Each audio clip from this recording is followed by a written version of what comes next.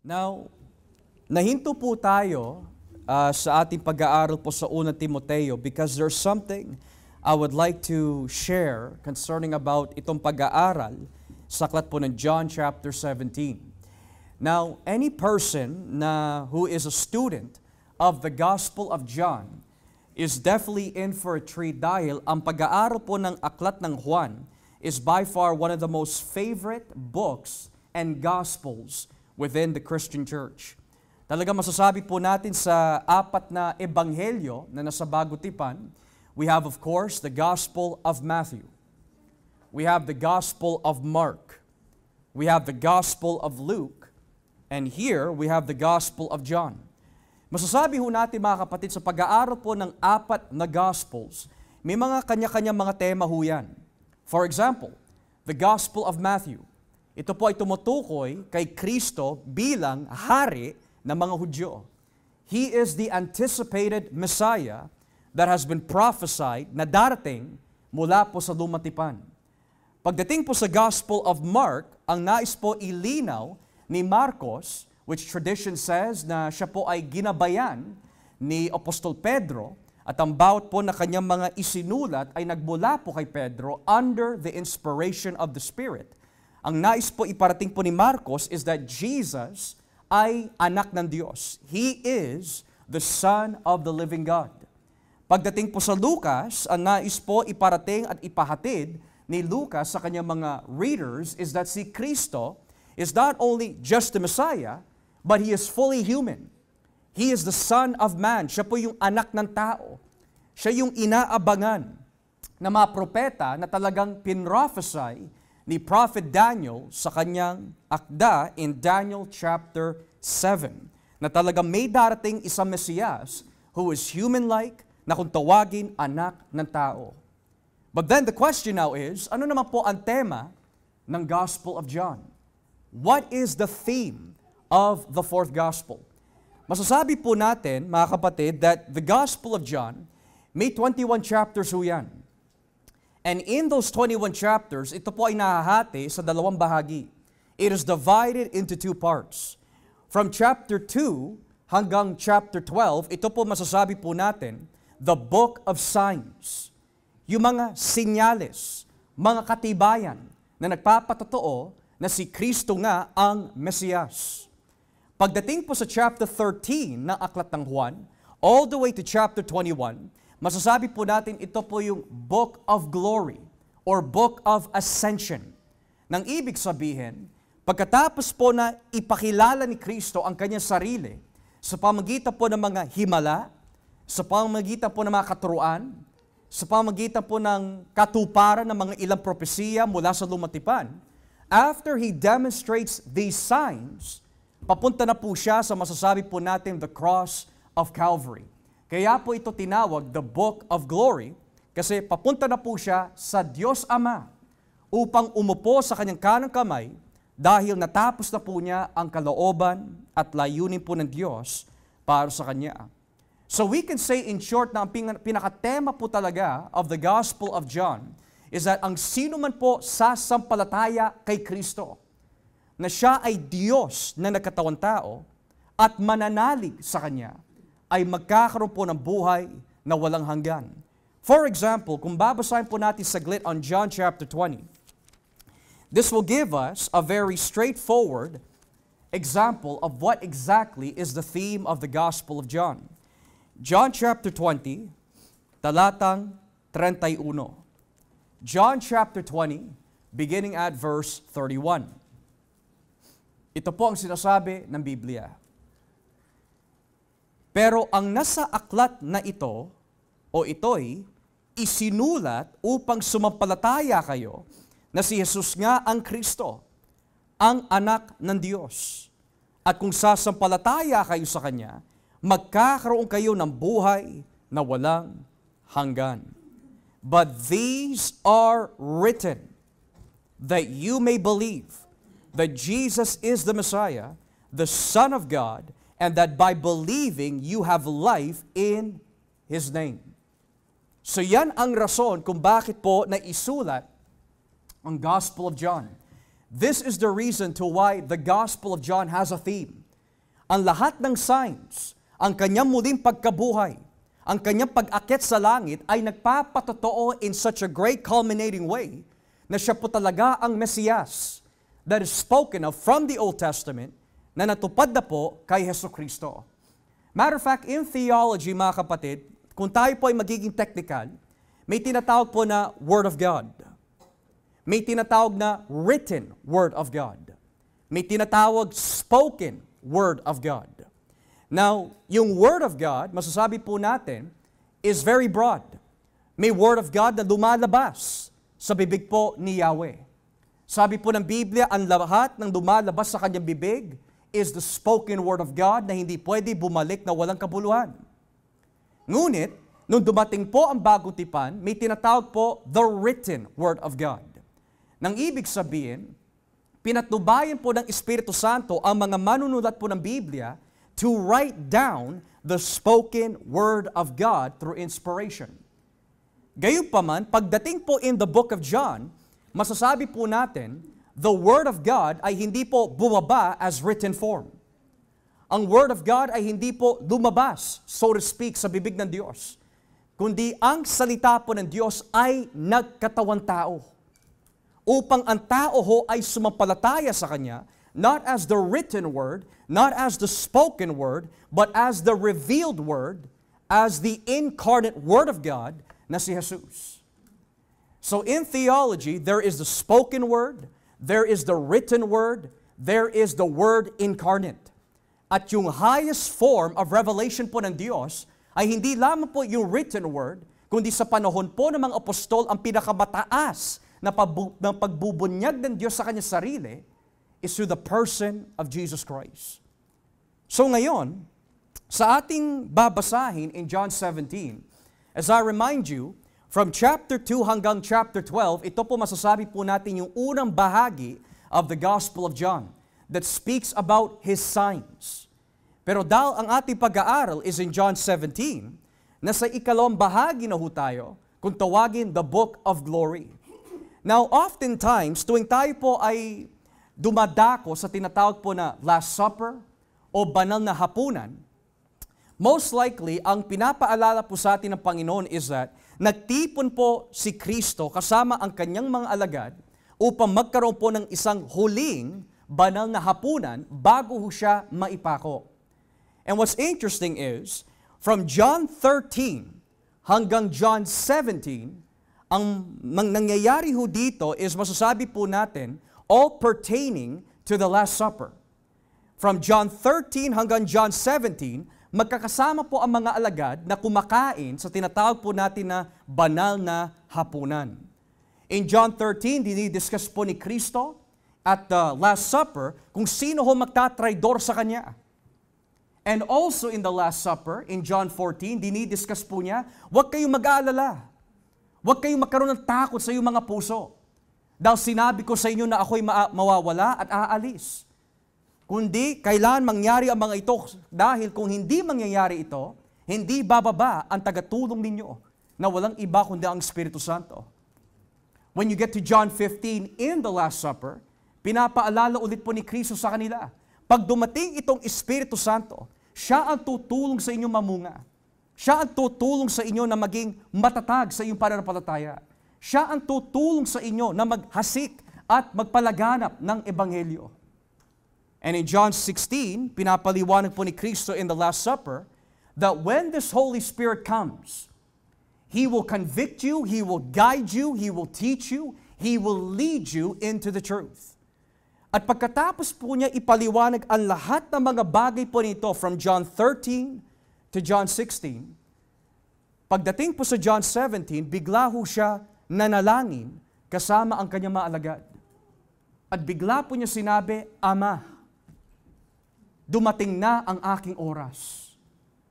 Dumating na ang aking panahon. Ginawa ko na lahat ang inyong inuutos sa akin.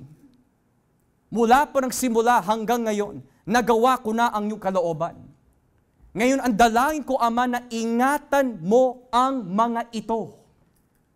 Ang sabi po ng Biblia sa verse 9 ng John 17, very specific ang panalangin ng ating Panginoon.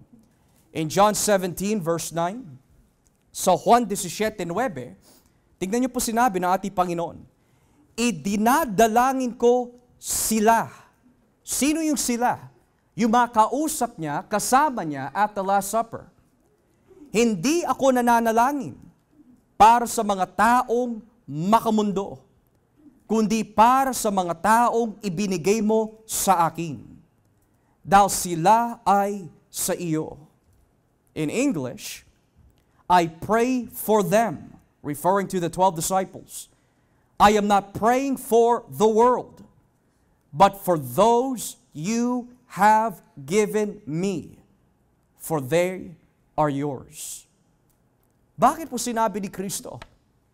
Right before na siya ay maipako sa krus, pagkatapos po niya ipaliwanag sino magtatraidor sa kanya in John 13, kung ano po magiging tungkulin ng Espiritu Santo in John 14, 15, and 16, bigla po niya sinabi, as he looks up to heaven, habang kasama po niya maalagad, idinadalain ko sila ipinapanalangin ko sila. Hindi po niya sinabi, ipinapanalangin ko ang mga tao sa mundo. Madalas ang pananaw po ng tao is this, mahal ni Kristo ang bawat isa unconditionally. Mahal ni Kristo ang buong mundo without any conditions. And yet sabi ng Biblia, hindi niya ipinapanalangin ang mga tao sa mundo. Bakit po ganun ang kanyang lingwahe? Is because ang ginagawa po ni Kristo is something called the office and role of priest. Ano po ba ang gawain ng isang namamahalang pare? Ano po ba ang gawain ng isang, ng isang pinunong pare? Sa lumang taypan, may tinatawag po na templo. O kung tawagin din po sa ibang uh, salita, tabernakulo. At sa loob po ng tabernakulo o templo, may mga tatlong kwarto ho yan. Yung unang kwarto, masasabi po natin, ay nasa labas. This is known as the outer court. Walang pwede pumasok sa loob ng tabernakulo na hindi pare o pinunong pare. Pagpasok po ng mga pare sa ikalawang kwarto, ito po yung tinatawag po, the holy place. In the holy place, may namamagitan po ng isang malaking, we could say, um, not carpet, but a fabric that's so thick isang veil na masasabi po natin na sobrang kapal that according to Jewish tradition, it takes four to five oxen na talagang by full strength upang mapunit yung veil po na yon. Na yung malaking veil po na yon ang namamagitan between the second room, na kung tawaging holy place, kung saan yung mga tinapay, yung menora, yung incense, yung offerings, at etc. etc. Pero ang pwede lamang po pumasok doon sa veil, kung saan papasok po ito sa Holy of Holies, ay walang iba kundi ang pinunong pare. Kung saan nakalagay ang arko ng kasunduan o kaban ng kasunduan, the Ark of Covenant.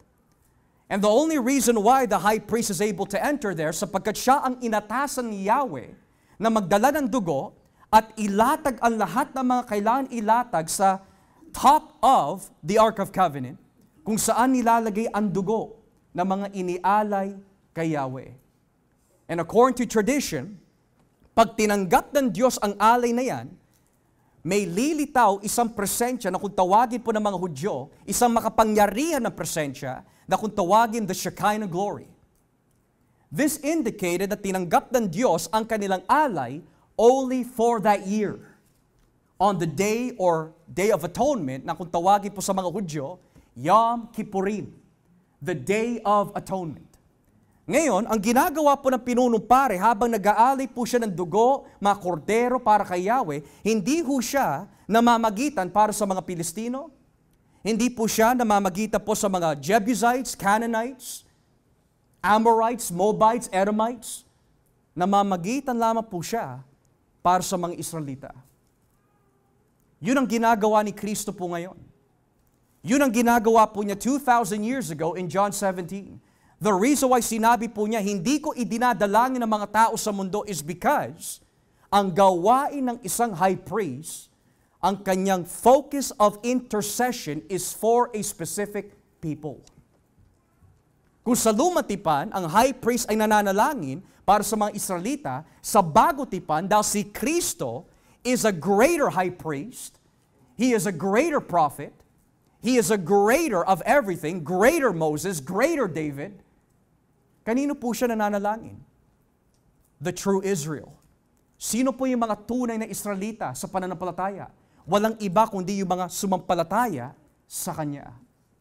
In the Old Testament, may lumang Israel, national Israel, pero ang kahulugan ng tunay ni Israel ay walang iba kundi yung mga sumampalataya sa Mesiyas. And who is that Israel?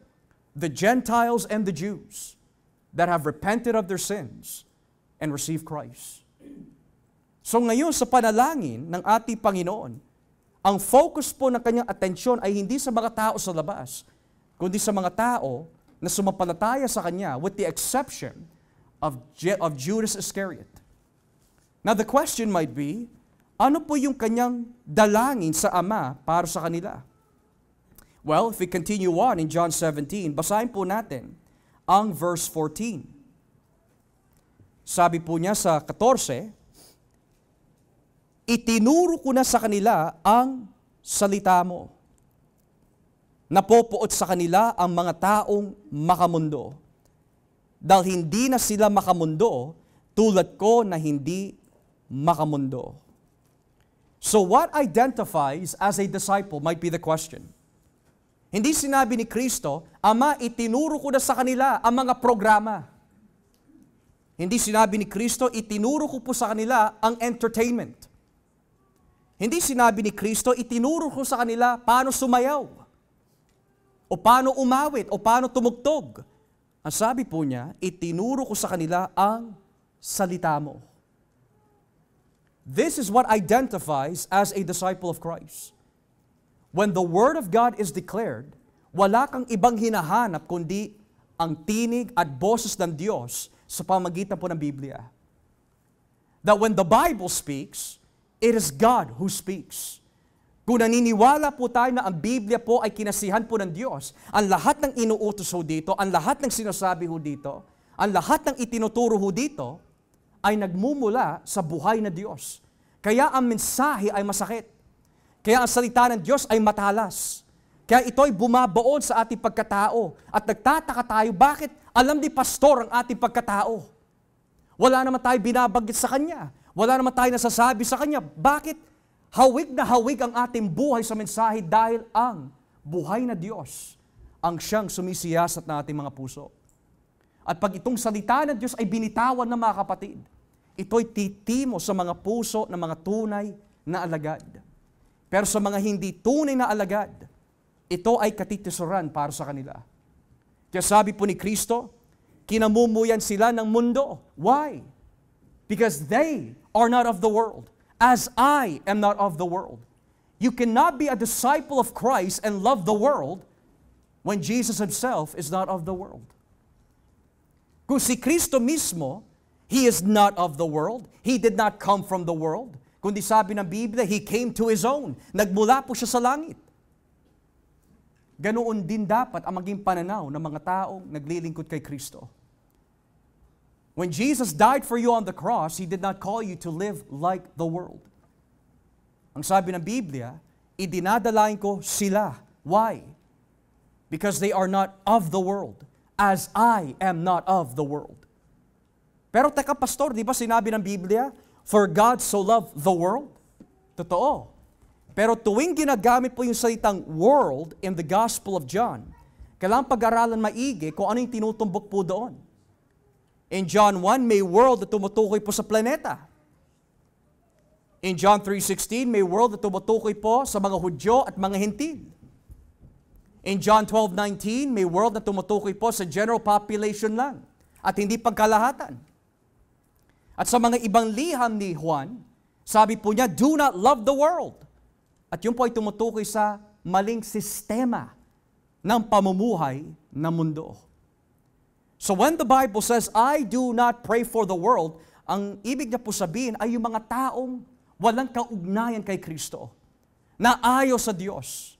Mas mahal po nila ang kadiliman kaysa lumapit sa liwanag na nagbibigay po ng kaligtasan. Pero ang mga tumanggap kay Kristo, yon ang mga sentro ng kanyang panalangin at pagmamahal.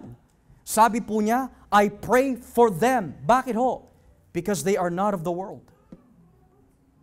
Ngayon, sabi po ng Biblia, in verse 15, Hindi ko idinadalangin na kunin mo na sila sa mundo, kundi ingatan mo sila laban kay Satanas.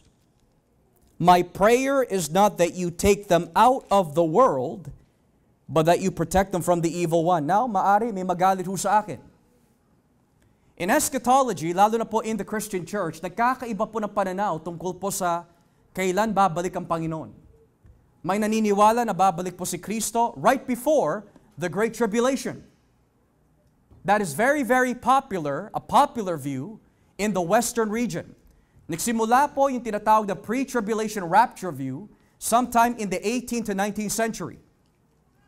Not in the second century, not in the third century, not even in the first century, 19th century. And yet, sa ganitong klase pananaw, hindi na ako mag-aalala tungkol sa pag-uusig dahil darating naman si Kristo bago dumating ang matinding kabigatian. Nang ibig sabihin, before the tribulation comes, Jesus will snatch me out of the world. I will live in heaven in peace for seven years, and I don't need to worry about persecution. Pero it makes you wonder, bakit po sinabi ni Kristo, hindi ko idinadalangin na kunin mo sila from the world. E ang katuruan po ng pre-tribulation rapture is at kukunin po tayo ng Diyos from the world para hindi natin maranasan ang pag-uusig. And niya sabi mismo ni Kristo, yung Kristo na darating, yung Kristo na babalik, yung Kristo na magliligtas, siya mismo ang nanalangin sa Ama, huwag mo sila kukunin mula sa mundo. Don't take them out. Bakit ho? Dahil may misyon ang iglesia.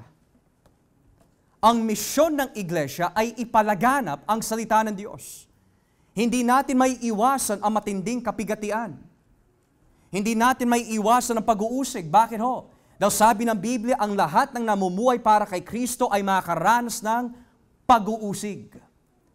Kung si Kristo ay kinamuyan, kung si Kristo ay inusig, ganoon din ang mga disipulo niya. So the theory that Jesus is going to take this out of the world, I don't need to worry about anything, pwede ako mangutang na mangutang na mangutang kasi magkakaroon naman ng rapture eh. Sabi po ng Biblia, I do not pray that you take them out of the world. Kundi, protektahan mo sila laban kay Satanas. Anong ibig sabihin po ng protektahan sila? Does that mean hindi ka tutuksohin ni Satanas? Does that mean hindi ka makakaranas po ng pag-uusig? Does that mean hindi ka maka-experience ng trahedya, pagsubok sa buhay? Ang ibig sabihin po na ingatan mo sila laban kay Satanas, ingatan mo ang kanilang pananampalataya na hindi tumiwalag. Now, how do we know this? May dalawang taong nag-backslide sa mga disipulo po ni Kristo. May dalawang taong, masasabi po natin, na nagtraidor at nagbetray at nagdeny kay Kristo sa labindalawang alagad. Si Pedro at si Judas. Magtataka ka mga kapatid. Sa Lucas, nanalangin si Kristo para kay Pedro. Sabi po ni Kristo kay Pedro, Pedro, This night, Satan has asked if we if he can sift you like wheat. Hini-hingi ni Satanas sa Diyos na usigin ka, subukin ka this night. Pero ano po sabi ni Kristo? Pero nanalangin ako para sa iyo na ang pananampalataya mo ay hindi mawala. Yun ang ibig sabihin na ingatan, laban, kay Satanas. Pero kay Judas, iba. Wala tayong mababanggit na nanalangin po si Kristo para kay Judas. Matter of fact, nung nabasa po ni Kristo na si Judas o ang magtatraidor sa kanya, bigla sinabi ni Kristo, What you desire to do, do it quickly. Gawin mo na. Pero wala tayong mababasa sa Biblia, sabi ni Kristo sa Ama, Ama, iligtas mo si Judas. Katulad ng panalangin ko para kay Pedro. You don't see that. Kaya you have two men, si Pedro, bagamat siya po ay nagkasala kay Kristo, nanumbalik. Kasi iningatan ng Diyos ang pananampalataya ni Pedro. Pero para kay Judas, nagsisiho siya sa kanyang sarili, pero nagpakamatay. Kasi hindi nanalangin si Jesus para kay Judas. Yun ang gawain ng ating high priest na si Kristo. Kaya ho tayo nagpapatuloy po ngayon bilang mga Kristiyano, hindi dahil magaling ka, hindi dahil malakas ka, hindi dahil marunong ka, hindi dahil matalino ka, kundi may nananalangin ho para sa atin. At hindi ho yan si Maria, kundi si Jesus. Siya ang nananalangin para ho sa atin. He is our intercessor.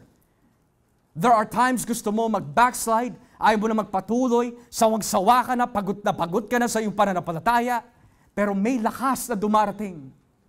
Saan ho yun nanggagaling? Sa Diyos. At dahil sumasa atin ang Espiritu Santo, at dahil namamagitan si Kristo para sa atin, at dahil sinasagot ng Ama ang panalangin ni Kristo, ang sino man ho ay nasa Kanya. Ang pangako ng Diyos ay hindi mawawala o maaagaw sa Kanyang kamay. That is the priestly prayer of Christ. Pero hindi lamang pag-iingat labang kay Satanas. Sabi ng Biblia in verse 16, hindi sila makamundo. Tulad ko na hindi makamundo. Nakailang ulit na ang ating Panginoon. Sabi niya, kinamumuyan sila dahil hindi sila sa mundo. As I am not of the world. Protect them from Satan. For they are not of the world. Paulit na paulit na paulit na paulit na sinasabi ni Kristo They are not of the world. They are not of the world. They are not of the world. Bakit po siya paulit-ulit ang kanya sinasabi? So that the disciple of Christ may understand their identity as Christians. Ang identity po natin bilang mga Kristiyano is not to live like the world. Bagamat tayo po ay nakatira sa mundo, we are not to live like the world. Kasi sabi ni Kristo, we are not of the world. So ngayon, ano po yung paraan ni Kristo so that we can maintain na hindi mamuhay tulad ng mundo? Verse 17. Ibukod mo sila upang maging iyo sa pamagitan ng katotohanan. Ang salita mo ay katotohanan. Sanctify them by thy truth. Your word is truth.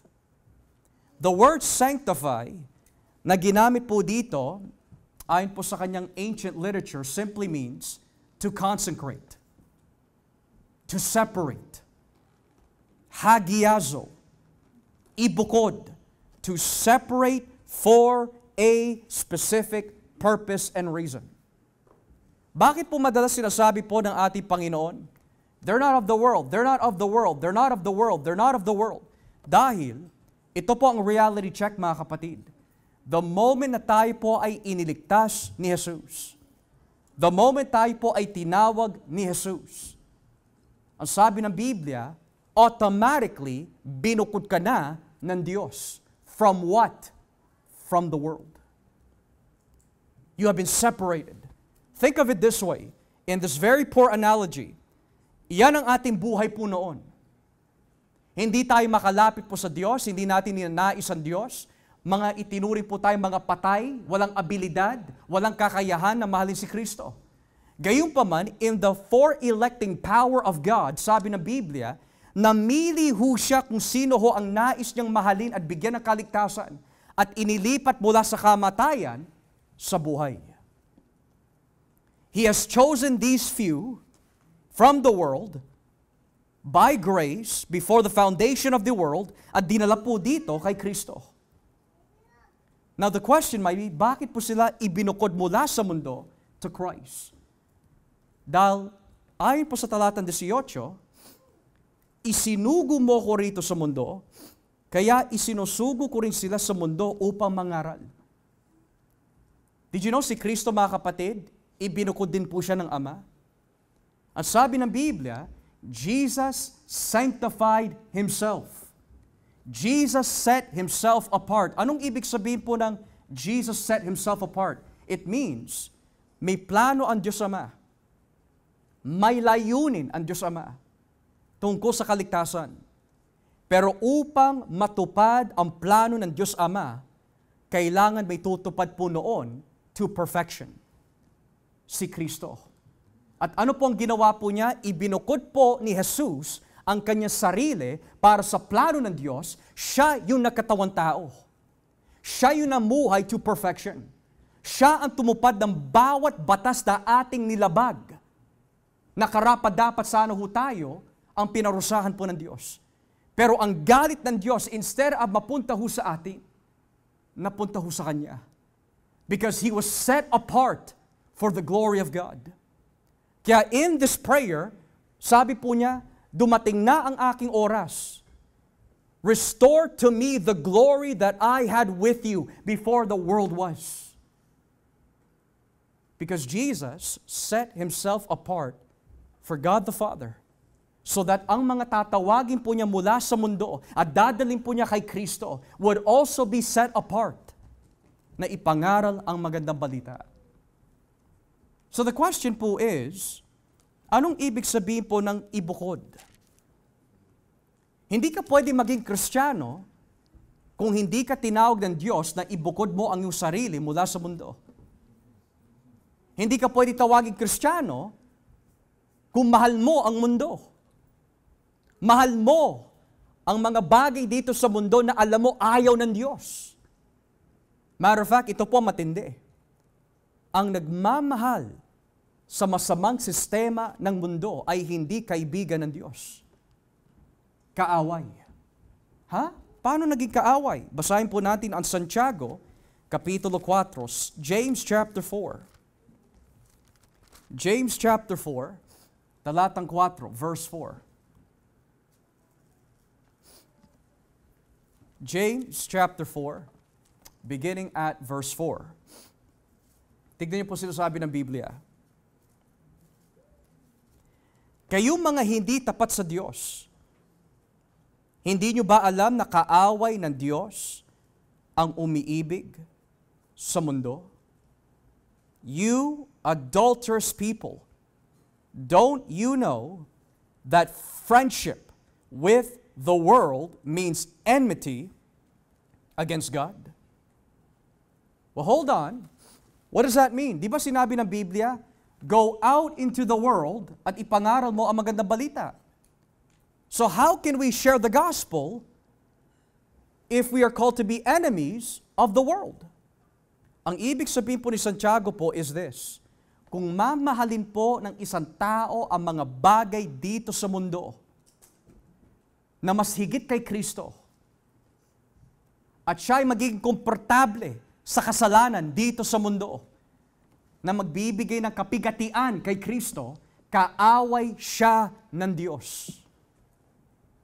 For example, there are many who say, Kristiyano ako. But if you sing what the world sings, you love what the world loves, you act like the world, you speak like the world, you dress like the world, you look like the world, sabi ng Biblia, kaaway ka ng Diyos. Because the whole purpose, mga kapatid, kung bakit ka tinawag ng Diyos is not to speak like the world, dance like the world, talk like the world, sing like the world. Sabi ng Biblia, to conform you to the image of Jesus Christ. Hindi ho tayo tinawag na maging para mundo o makamundo. Tinawag po tayo para maging kahawig po natin, katulad po natin, si Jesus. So then the question might be, Pastor, ano po ang itsura ng buhay na ibinukod para sa Diyos? Yung mga babasahin po natin mamaya, ang magbibigay po ng hamon sa atin lahat kung mahal po natin si Kristo. Hindi mahal ko ang church. Hindi mahal mo ang pastor. Ang hamon na ibinibigay po ng Biblia as we read it in a few moments ay hamon tungkol sa ating pagmamahal kay Kristo. Pwede mo mahalin ang iglesia and still go to hell. Pwede mo mahalin ang pastor and still go to hell.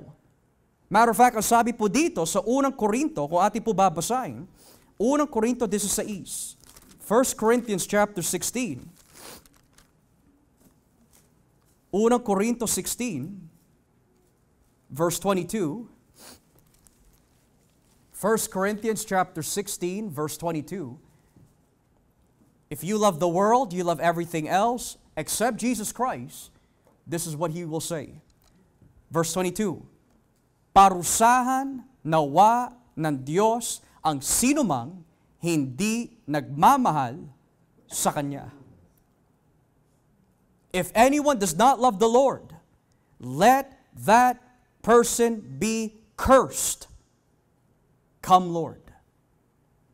Now, sa isang literal na salin, sumpain nawa ng Diyos ang sinumang hindi magmamahal kay Jesus. Let that person be anathema. Let him be cut off. Let the wrath of God be on that person na hindi magmamahal kay Jesus. Pastor, mahal ko ang aking asawa. That's great. How about Jesus?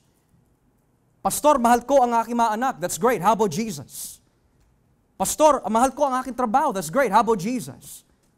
Pastor, mahal ko ang aking kayamanan. That's great. How about Jesus? Pastor, mahal ko ang kotse ko. How about Jesus? Sabi ng Biblia, parusahan, sumpain, nawa ng Diyos ang sino man hindi nagmamahal sa Kanya. Hindi sinabi, Curse be the one who does not love the church. Cursed be the one that does not love the pastor. Cursed be the one who's not loving the Reformed Baptist tradition. Alam niyo po, minsan, ang tradisyon ng pagiging Reformed Baptist po minsan, kung magiging totoo lang po tayo, maraming mga tao nagsasabi Reformed Baptist na hindi talaga reform sa pamumuhay. Ang pagiging reform, mga kapatid, is way beyond the five points of Calvinism. Ang pagiging reformed is this. Ang taong nagmamahal kay Kristo, nais niya maging biblikal. Pwede kang tumanggap sa reformed tradition, pero kung hindi mo mahal ang Diyos, hindi ka reformed. Ang ibig sabihin ng reformed, pinapamuhay ho natin ang mga prinsipyo, mga katuruan sa Biblia na umuudyok ho sa atin na mahalin ang Diyos. Yun ang ibig sabihin ng pagiging reformed.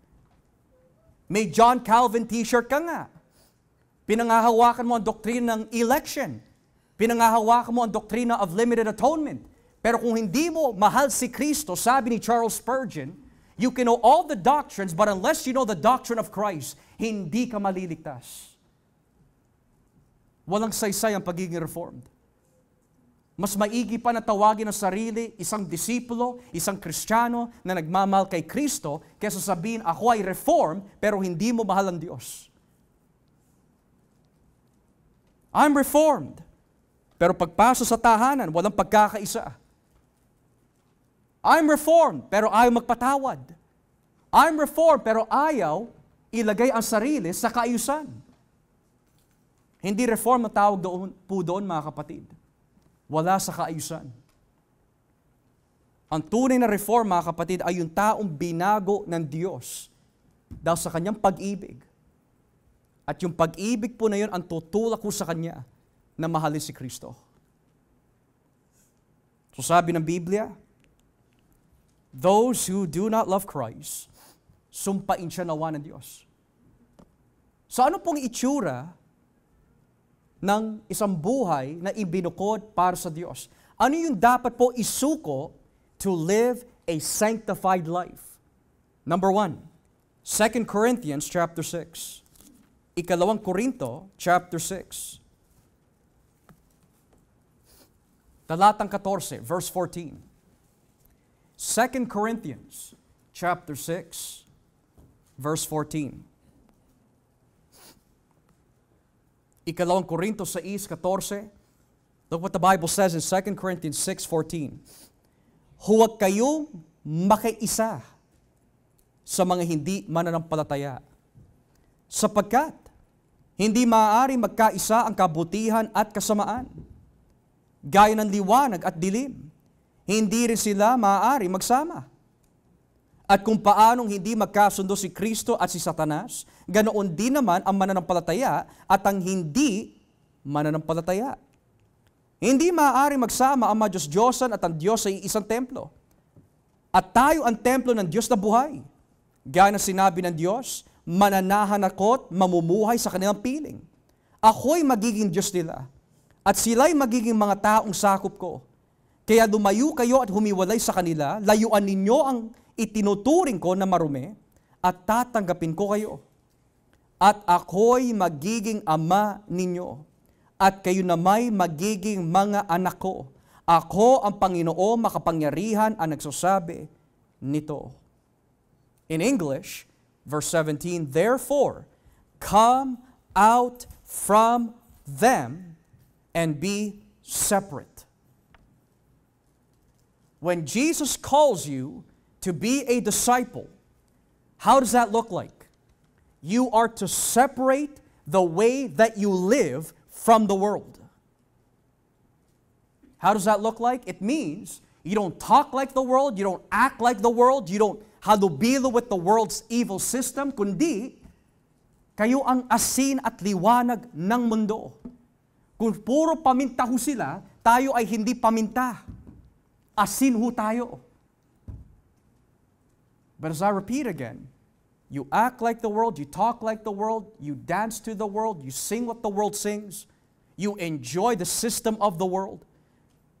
There's only two things that can happen. Either nag-backslide ka and you need to repent of your sins dahil naligaw ka ng landas o pangalawa, kaduda-duda ang iyong pananampalataya. Which means your Christianity is false. You can have either backslided because you became ignorant, hindi ka nagbantay, nang lamig ka. That's a possibility. You need to repent. But if not, you profess Christ, you don't possess Christ. You talk about Christ, but Christ doesn't transform the way that you live. At ang pinakaunang ebidensya that Jesus has saved your soul, you will not love the world. We know this because yung mga alagad, ibinigay po nila ang kanilang buong buhay. They left their nets, they left everything for Jesus. Tayo po ba mga kapatid, nagkakaisa pa rin po tayo sa mga hindi mananampalataya? You laugh, we laugh at their green jokes. Pag sila'y nakikipagchismisan, tayo po ay nakikisali sa kanilang pagkikichismisan o pagchichismis. Pag sila po ba'y may pinapanood that you know offends your God and your Savior, do you enjoy what they watch as well? Yun ang sinasabi ng Biblia. Do not be yoked together with unbelievers. Minsan, may mga tao na turing ang that teach their children or even teach their siblings it's okay to date an unbeliever because, you know, it's, it's not really that serious you are now teaching false doctrine. Naghahasik ka na ng kasinungalingan sa kanila. Well, Pastor, they're only, you know, they're only 19 years old. It's nothing serious. But the problem is, mga kapatid, ano po ba ang tawag sa atin ng Diyos? To be His disciples. Kung may ituturo ho tayo na ganong klaseng doktrina sa mga tao, you do more harm to their soul than good. Ito yung napag-aralan po namin sa seminaryo kagabi. Bad theology harms people. Good theology helps people. Pagpalpak ang ating doktrina, ang lahat ng ating ipapayo ay magbibigay po ng kapahamakan sa mga ibang tao. Pero kung tama ang ating doktrina at ito ho ay ibibigay ho natin sa ibang tao, sabi ng Biblia, there is safety in a multitude of counselors. Pero paano ho tayo maituturing na counselor kung hindi tayo nag-aaral ng doktrina, hindi natin kinikilala si Jesus, tinatamad nat, tinata, kinatatarmaran po natin basahin ng Biblia, ayaw natin makipag-ugnay sa Diyos, mas inautupag po natin ang mga bagay sa mundo. Ano maibubuga ho natin bilang mga ilaw at asin? Ang diet ng iglesia ay walang iba kundi ang salita ng Diyos. Sabi po ni Kristo, sanctify them in thy word. Hindi sinabi, ibukod mo sila, baguhin mo sila sa pamamagitan ng pagiging friendly lang. The Christian grows by the Word of God. The Christian is saved by the Word of God. The Christian is transformed by the Word of God, and the Christian is persecuted by the Word of God or because of their preaching of the Word of God. Kaya ang pagiging Kristiyano at ang salita ng Diyos, hindi pwede ipaghiwalay ho yan. Because the moment you do, ito po mangyayari.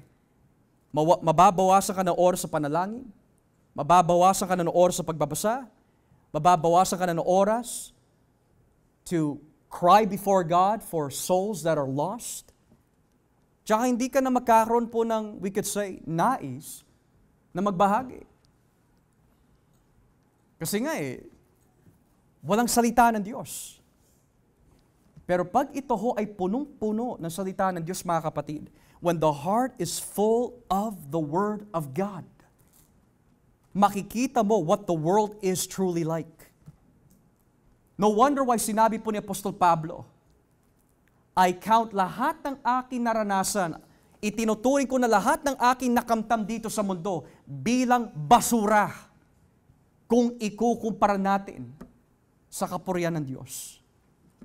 I count all things as dung. Excuse me, pero yung ibig sabihin po ng dung, itinuturing po ni Pablo ang mga kayamanan dito sa mundo, ang lahat ng layaw dito sa mundo bilang tae compared to the glory of Christ. Kasi sabi po ni Pablo, we came into this world with nothing, we're coming out with nothing. Lahat yan, iiwanan po natin balang araw ho yan. Ang pera, kayamanan, bahay, damit, pag-aari, iiwanan lahat yan. Pagkain, iiwanan mo yan. Mga picture ho natin dyan sa bahay, iiwanan po natin yan. Yung mga inipon mo sa bangko, iiwanan po natin yan. Bakit ho? Because Jesus said, You are not of this world. Pero dumarating po sa Kristiyano na nakakalimutan po niya who he is as a Christian. Pag nakalimutan po natin who we are as Christians, hindi natin magagawa to separate ourselves from the world. Kaya sabi po ni Pedro sa unang Pedro kapitulo 2, in 1 Peter chapter 2, look what the Bible says. Unang Pedro, 1 Peter chapter 2,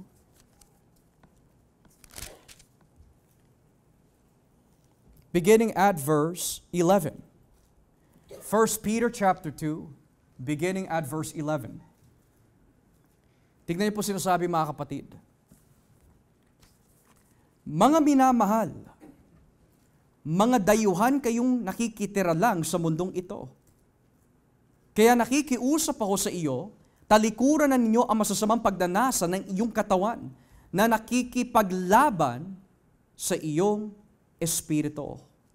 Dear friends, I urge you, as foreigners, o dayuhan, estranghero, and exiles, to abstain from sinful desires which wage war against your soul. So ano po ang tawag sa atin ni Pedro? Mga citizens po ng lupa? Mga citizens po ng mundo? Mga dayuhan. Now, bakit po tayo itinuring dayuhan? Is because, tignan nyo ho, out of all the religions in the world, sino po ang laging pinag-iinitan na reliyon? Christianity. Wala nagsasabi na masama consistently laban sa Islam kasi takot sila eh. Baka mapugutan ng ulo eh. Hindi nila inaano ang mga Buddhist. Bakit po? Kasi ang mga Buddhist is non-offensive sa mga mundo, sa mga tao sa mundo. Bakit lagi Christianity ang pinag-iinitan? Bakit lagi si Jesus ang pinag-iinitan? Bakit sa ating kultura, social media, they are canceling Christianity? When you talk about homosexuality, canceled. When you talk about same-sex marriage, canceled. When you talk about live-in or common law relationship, canceled ka. Bakit lagi pinag-iinitan si Jesus? Because Jesus said, we are not of this world. Kung ikaw ay hindi dayuhan ng mundo, mamahalin ka ng mundo. They will welcome you with open arms. There's no conflict. Kaya sabi ni Kristo, malapad ang pintuan patungo sa kapahamakan. Maluwag eh. Wala kang kaaway, wala kang no-offend, wala natitisot sa atin. Kasi hindi tayo dayuhan. Pero kapag ikaw ay dayuhan ng mundo, because Jesus says, you are not of this world, expect this. Kamag-anak mo, lalayuan ka. Asawa mo, lalayuan ka. Anak mo, lalayuan ka. Kasi dayuhan ho tayo. Pag ang isang dayuhan ay nakipag-usap sa isang dayuhan, nagkakaisa. Subukan mo isang dayuhan na nakikipag-usap sa isang citizen na mundo, hindi kayo magkakaisa. Bakit po? What fellowship does light have with darkness? Ibukod mo sila with thy truth for thy word is truth. So sabi ng Biblia, kaaway ng Diyos ang mga nagmamahal sa mundo. Ang sabi po ng Biblia, if you don't separate yourself, hindi kita aangkinin bilang mga anak. Sabi ni Pedro, you are not a citizen of the world, dayuhan ka. Bakit po dayuhan? Because our home is not here, mga kapatid. Our home is with Jesus. Kaya sinabi ni Kristo sa kanyang mga alagad, Let not your heart be troubled. I come to prepare a place for you, that where I am, there you may be also. Kasi ang mundo ho natin, this world, is not our home. Bagamat tayo po ay naghahanap buhay dito sa mundo, bagamat kailangan po natin gumawa ng anumang bagay to provide for our families, pero hindi natin dapat kalimutan that our identity is not to be like the world dayuhan lang po tayo. Kaya wag na ho tayo magtaka kung kamag-anak, magulang, kapatid, asawa, nilalayuan ka, pinag-iinitan ka kasi you keep giving them the Word of God pero nagagalit sila sa iyo. Kasi hindi sila dayuhan. Ikaw ay dayuhan. You're a stranger. You do what they want, mamahalin ka. You do what they hate, they will devour you. Yan ang tawag ng isang Kristiyano. Yan ang buhay ng isang taong ibinukod. And that's the reason why, mga kapatid, before we come to a close, Panginoon, dayuhan po ba ako? Or am I a citizen of this world? Nag-e-enjoy po ba ako dito Panginoon, sa mundong ito na balang araw ay papanaw rin on the day of judgment? Ayon po kay Pedro, pupugnawin ng Diyos ang mundo gamit ang apoy. Walang matitira ho dito. Matter of fact, sabi ng Biblia, magkakaroon po ng new heaven and new earth. Magkakaroon po ng bagong langit, bagong lupa. Bakit po bago? Dahil ang lahat ng mga hindi dayuhan ay papatayin ni Kristo sa kanyang pagbabalik. Uubusin ni Kristo ang bawat hindi mananampalataya at ang matitira lang in this new heaven, new earth are those who are strangers of the earth that are citizens of His kingdom. That's why Paul says, set your affection on things above. Looking unto Jesus, looking unto Jesus. Bakit ho? When you look elsewhere, may iba madidistract ka at ang pag-ibig mo unting-unti nawawala para sa Diyos. That's why the Bible says, I pray for them. Ingatan mo sila, ingatan mo sila, ingatan mo sila, Ama, na huwag sila mahulog sa tukso, na hindi nila makalimutan, dayuhan sila ng mundo. Ipinapanalangin ko sila Is Jesus praying for us? You can only answer that question, mga kapatid, if you have a relationship with Him. Is it a good relationship or is it a bad one? Pero I pray, mga kapatid, doon sa mga sinasabi ni Kristo kanina sa John 17, no sinabi niya, hindi ko idinadalain ng mundo, nawaho hindi tayo mapabilang doon sa mundo. Kasi kung kabilang po tayo in that world, Jesus is not praying for us. You are under, we are under the wrath of God. Pero nawa ho kabilang po tayo dun sa sinasabi ni Kristo, I pray for them. Who is them? the one who surrendered their life to Christ. Inaamin ko makasalanan ako. Inaamin ako nagkasala ako. Inaamin ko kailangan ko magbago. Inaamin ko nagkasala ako sa lahat ng mga utos mo. Sumasampalataya ko kay Kristo na siya lang ang natatanging righteousness of God. Sila yung them na tinutukoy ni Jesus. They love Jesus, they love His Word, they love His truth. At talagang nais po nila ibigay ang lahat para sa Kanya. So sabi po ng Biblia, ibukod mo sila. Hindi yung mga tao sa loob, sa labas, kundi sila. Yan ang hamon ng ating Panginoon para sa atin. Nakabukod ka ba? Or citizen ka ng mundo? Are you a stranger of the world or a citizen of the world? John made it very clear dito na po tayo magtatapos sa unang Juan, Kapitulo 2. 1 John chapter 2,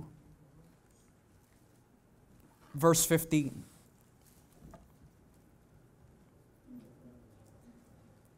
Unang Juan 2, talatang 15. Ito po ang sinasabi. Huwag ninyong ibigin ang mundo o ang mga makabundong bagay ang umiibig sa mga ito ay hindi umiibig sa Ama. Sapagkat ang lahat ng kabunduhan, ang masasamang hilig ng laman, ang pagnanasa sa mga nakikita ng mata, at ang anumang pagmamayabang sa buhay ay hindi nagmumula sa Ama kundi sa mundo. Ang mundo at lahat ng bagay dito na hinahangad ng tao ay mawawala. Ngunit ang taong sumusunod sa kalooban ng Diyos ay mabubuhay magpakailanman. The world and its desires pass away, but whoever does the will of God lives forever. There might be some of us here this, this afternoon. You've been attending this church for quite some time, but you're not really saved. You're pretending to be something you're not. Ngayon nakarinig na po tayo ng salita ng Diyos. The Bible says, Come unto me, all you that are tied in with your sins, and I will give you rest. Do you desire to be saved? Pray to God, magsisi ka. Ibigay mo ang buong buhay mo sa Diyos. Lord, I give you my life. I repent of my sins. Kasi sabi ng Biblia, the one who does the will of God lives forever. Pero ang kumalaban sa Diyos, it's not going to be eternity with God, kundi eternity sa galit at parusa ng Diyos. Yun ang ibig sabihin po ni Kristo when He says, Sanctify them in Thy Word, for Thy Word is truth. Shall we pray?